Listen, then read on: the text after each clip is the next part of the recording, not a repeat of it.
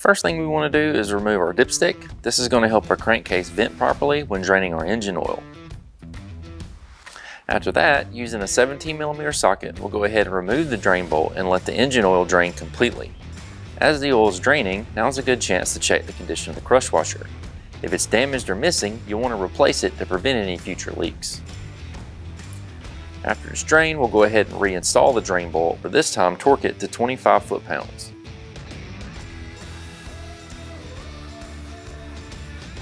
Now it's time to fill the unit with oil.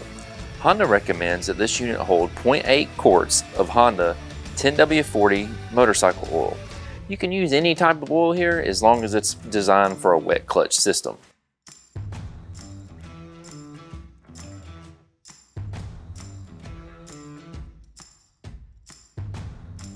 Install our dipstick.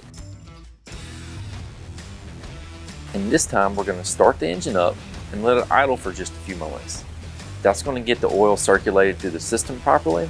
Once it's done that, we'll shut the engine down and let it sit for a few more moments. That's going to help us achieve an accurate oil level reading.